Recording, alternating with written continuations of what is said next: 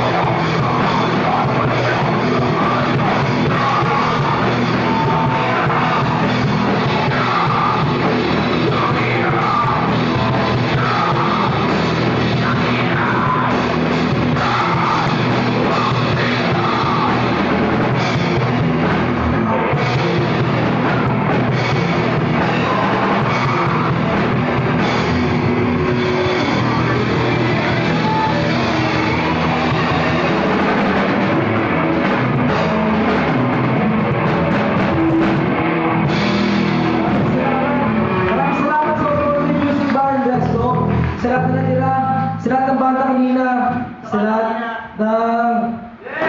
Ayun, salamat kuya sa nag-ayos ng tunog. Salamat sa pumalakpak, salamat, salamat, salamat, salamat. Salamat sa nanay ko, pinapunta ko dito.